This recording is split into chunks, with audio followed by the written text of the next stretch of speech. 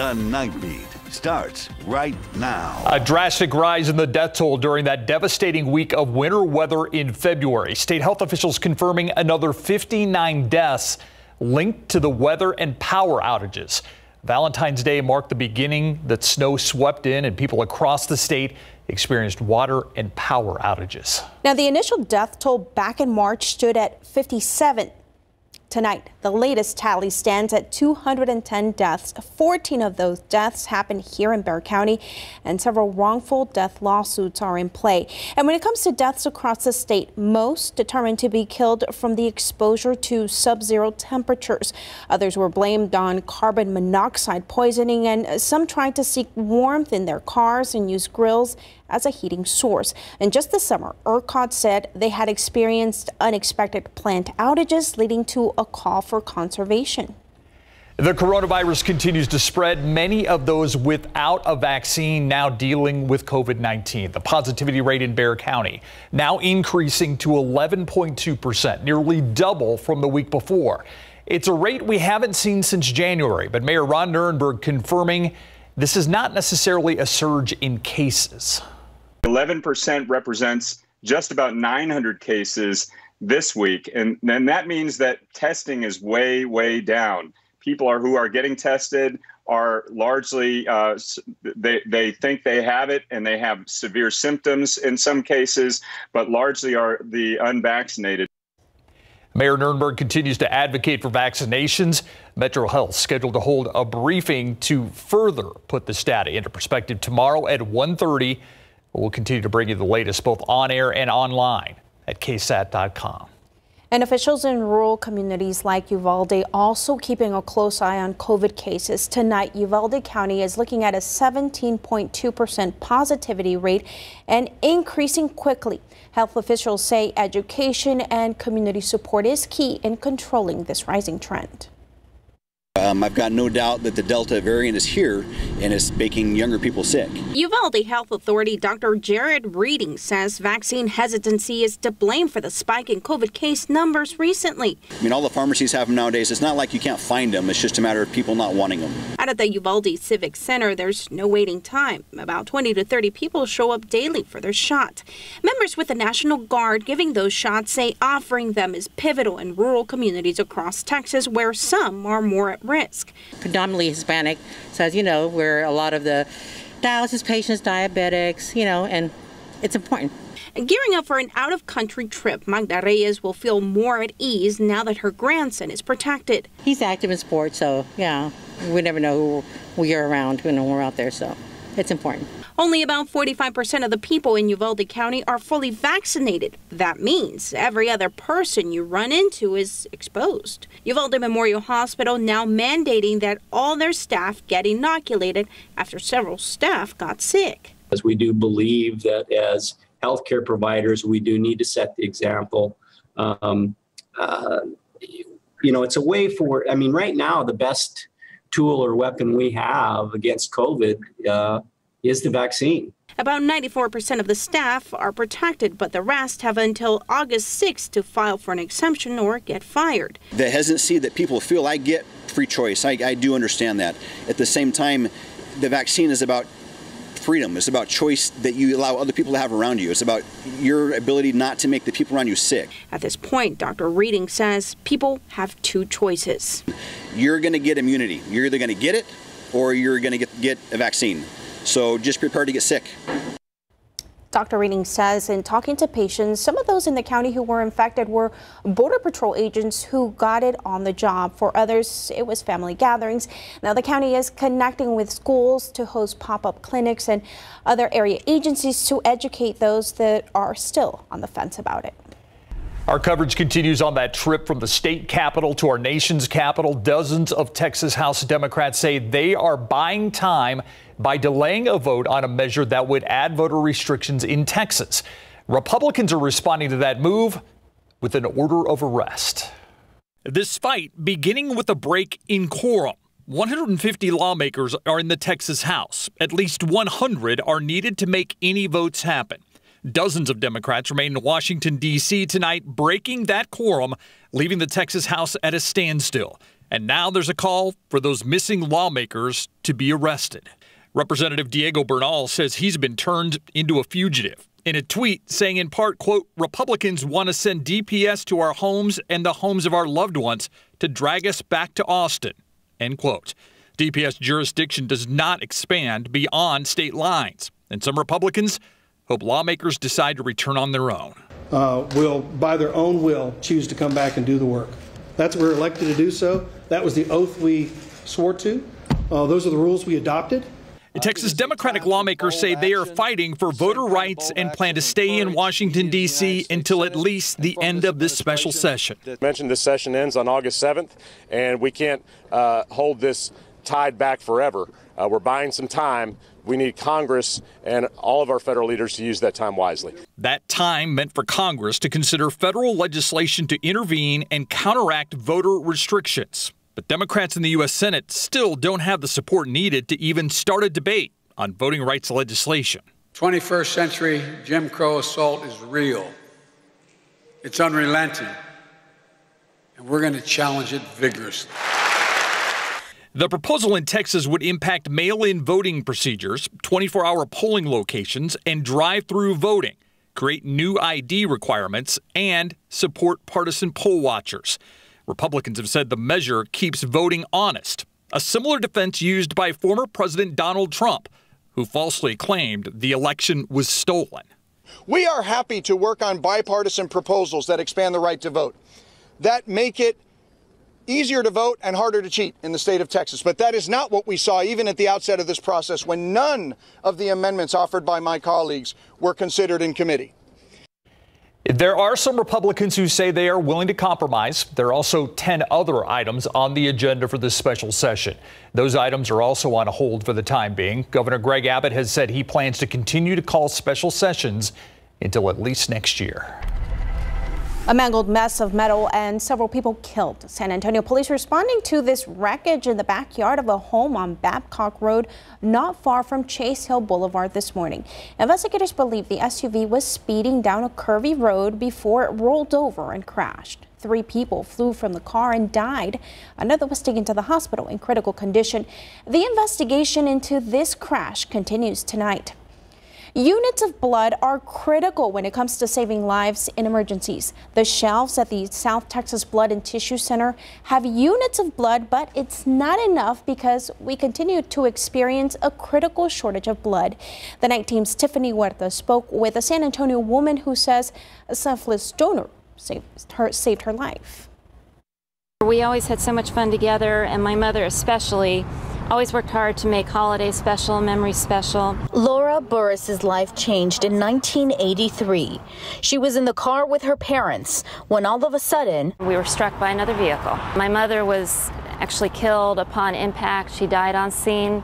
My father was thrown from the car. Laura suffered a broken foot and numerous cuts on her face, arms, and chest. I'm here today, um, talking to you today because of the donations of donors at that time and place. She received a blood transfusion that saved her life.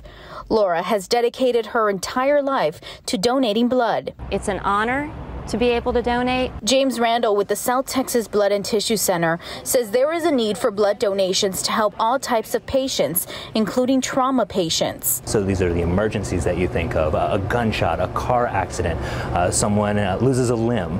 But then you also have regular medical needs. So you have uh, oncology patients, so people going through cancer treatment. This is about a day's supply for our entire community. While it's filled in the front of the shelves, take a look right behind me, completely empty empty in the back. We really need to be collecting 600 units a day to help us build to our seven day supply mark where we're targeting. We would like to have these shelves with seven days worth of supply to consider that adequate here in our community. The donor room also looked emptier than usual this afternoon, and that's concerning. Hospitals have opened back up. They started increasing the number of medical procedures that they're doing, which has increased their need for blood products. For Laura, she hopes her story can help save lives. It's my honor to donate. Randall says they need all blood types, but they really need type O red blood cells. He says this is the highest usage in our hospitals right now. Tiffany Huertas, KSAT 12 News. And the next community drive will happen tomorrow at the San Antonio Food Bank from 11 a.m. to 4 p.m. You can still schedule an appointment to donate by calling 210-731-5590 or visiting southtexasblood.org. Still ahead on the night beat a delay and emotions during day two of the Otis McCane trial. The family of the slain San Antonio police detective back in court. We take you through today's testimony coming up. And Homeland Security getting a major medical delivery. The shots they're expected to dole out next on the night beat.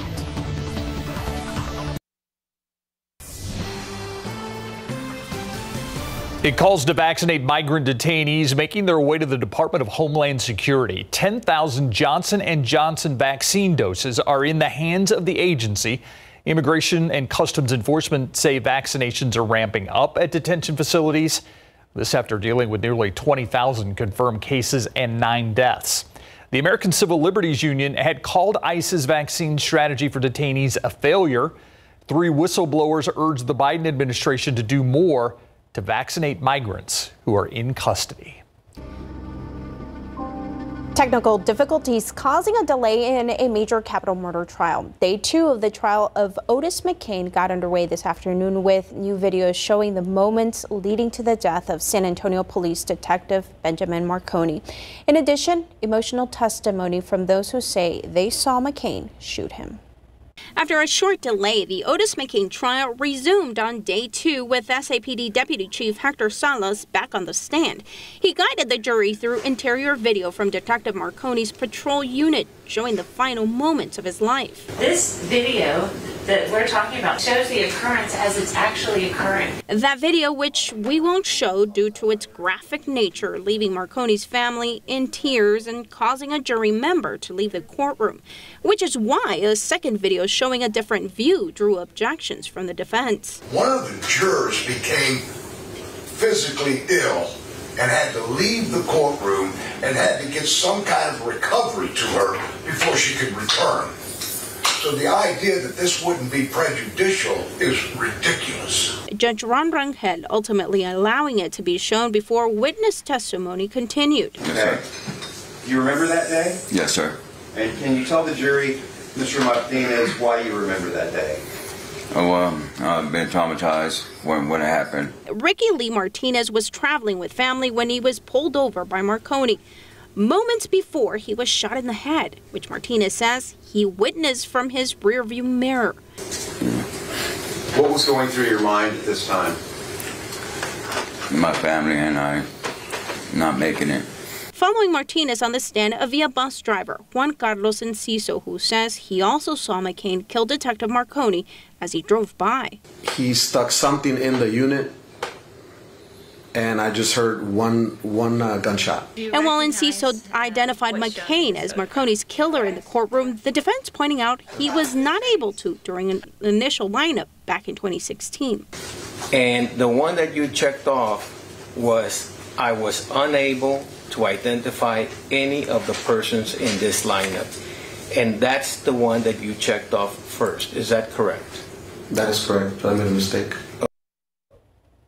And court will resume tomorrow morning at 9. You can follow along with us on our live stream at ksat.com or watch on the KSAT TV app available wherever you stream.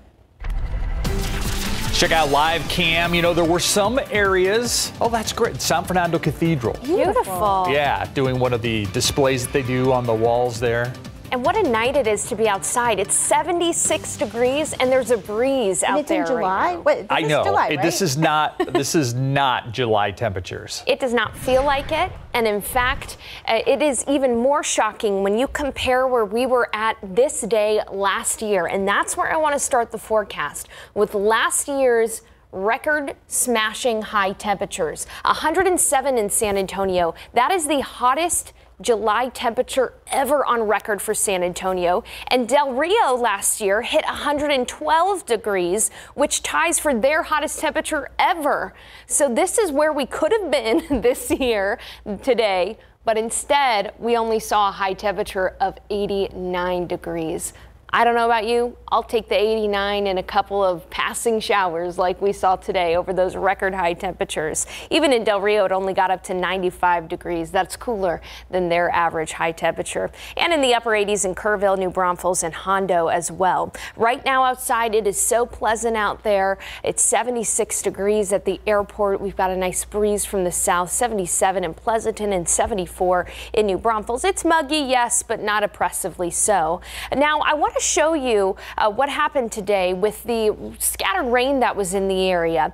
We got up into the 80s, but just before we could get into the 90s, this scattered rain pushed an outflow boundary through, rain cooled air. We dropped down into the 70s, and not everybody got rain, honestly, but everybody got the rain cooled air. And I'm showing you this because tomorrow's forecast is going to be fairly similar to today.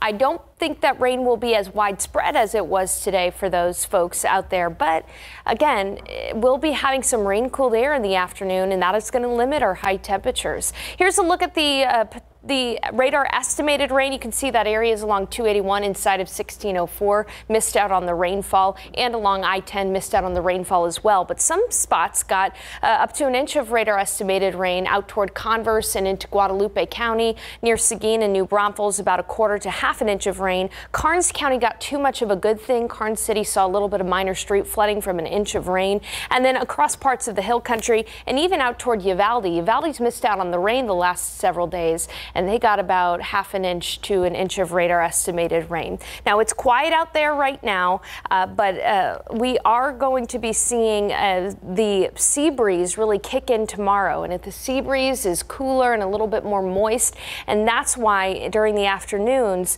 we're going to have some redevelopment of a few showers along the coastal plain, and then we'll watch those to see if they have enough oomph to make it to that I-35 corridor. And I do think a few will, so we're going to call it a 20 to 30 percent chance for isolated to widely scattered showers and even a few rumbles of thunder tomorrow afternoon. But much like today with the loss of daytime heating, once we see the sun set, the rain chances go down and then we see a bit of a repeat on Thursday as well. Again, these showers are not really going to cause any issues. We're not expecting severe weather. They're just going to help to prevent our temperatures from soaring to unbearable levels. It'll be 84 at noon, 90 in the afternoon, 30 percent chance for scatter for isolated to scattered showers and a few storms. Southeast winds at 5 to 10. We'll have more isolated rain on Thursday. On Friday, it'll hold off on the weekend, only a stray shower possible. So we'll finally get a weekend where we can do some summertime activities. We've had to battle a, a few showers and storms over the weekend, but that does not look like the case this weekend. One thing I will say, though, is that the Saharan dust, we're likely to see another plume move in on the weekend. That'll cause some allergy like symptoms for some folks and the heat index value is going to make it feel close to 100 over the weekend. Uh, so, uh, yeah, summery weekend in store for us after some unseasonable rain out there this week. Do you know Patty got rained on today?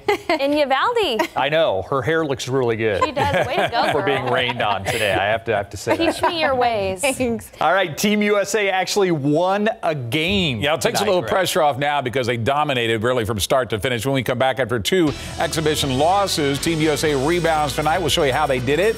And we continue with our top five priorities for the Dallas Cowboys in training camp, including that young man right there, getting him back on track. After surprising back-to-back losses, Team USA returned to form against Argentina this afternoon. Kevin Durant came out firing with a pair of threes to get things started. The first one from the left wing, and then from the right, he finished with 17. Bradley Beal also poured in 17. Here's three of those at the corner for an 11-point lead. A little later, Draymond Green gets a long rebound, throws it down court to Durant, who finishes with a two-handed punch. USA up by 24 after one. Keldon Johnson making the most of his minutes in the second quarter. He attacks the paint, takes a lot of contact, missed shot, but on the mark, he gets his own board and put back. He had four points and five rebounds in 14 minutes of play. This game was never close. Zach LaVine gets it ahead to Bam Adebayo for the slam. Then Levine takes to the sky and throws down the dunk plus the foul. USA rolls Argentina 108 to 80. After the game, Pop was pleased with his team's energy level.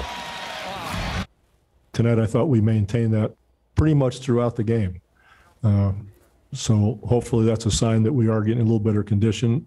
And we also have to get rhythm. You know, some of the players, you know, they haven't played in a while, uh, let alone practicing together. They haven't, shot the ball. They haven't been doing a whole lot. So uh, these moments uh, to play these games are huge for us.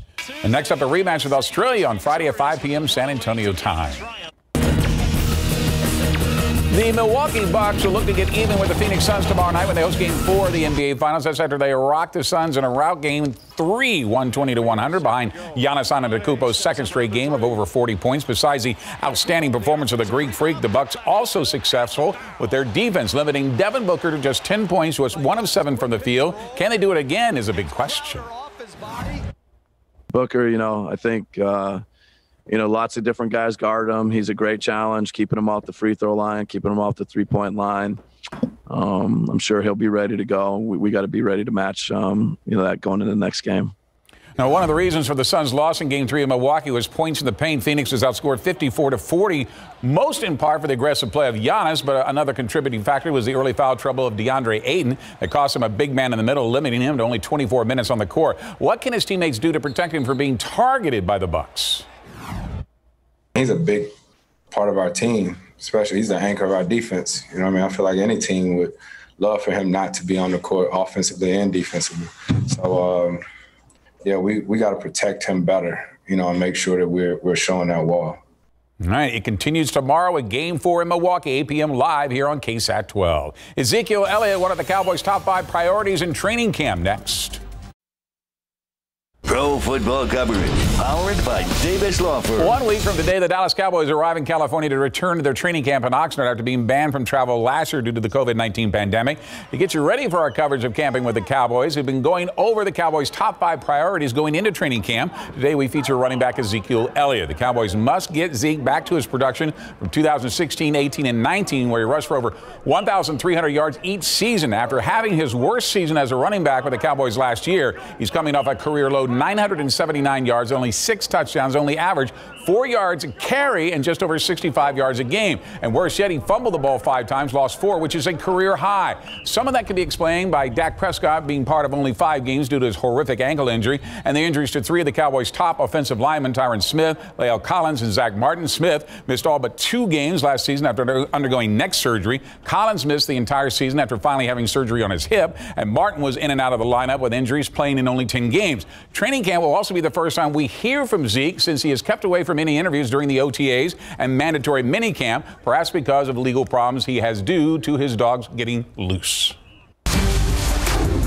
Texas Football Magazine is at the newsstands at Judson High School's own DeMarvin Leal as part of the All Aggie cover this season. Now, on Monday, we broke down the top teams in the state in Class 6A according to Dave Campbell's magazine. Today, Class 5A in both Division 1 and Division 2. And we start with the Southside Cardinals, who are the highest ranked team in Class 5A Division 1, number 22, in part because they have quarterback Richard Torres as one of their five players back on offense and six on defense off a team that went 9 and 2 overall, 5 and 1 in district last year. Torres announcing just weeks ago he's committed to play for Nebraska. In Class 5A Division 2, the highest ranked team out of the top 25 is Boerne Champion with 12 starters back of a team that went 7 and 3, 4 and 1 in district. So here's our breakdown according to the magazine. In Division 1, just one team in the area, state ranked, that's at number 22 Southside. Division 2, we have two teams that are state ranked. Number 15 Champion, number 24 Alamo Heights. It's hard to believe we're just over 40 days away from the start of the high school football season after what we went through last year with the pandemic, having to start the 1A and 4A schools and the 5A and 6A schools at different times. Now everybody starts at the same time. I cannot wait for football season to get here. Back to After normal. last year Yep. with no fans, and so yeah, let's get back to normal. You got it. Thanks, Greg. Pretty exciting. All right, we'll be right back. We want to get you to some breaking news tonight. Two people taken to the hospital. Police now investigating this crash near Guadalupe and South Brazos on the city's west side. Yeah, police said the driver of a black sedan taken to the hospital with life threatening injuries. The woman in an SUV also in the hospital. She's expected to survive. You can actually see part of the traffic light down in the road. Police are still looking into what caused this crash.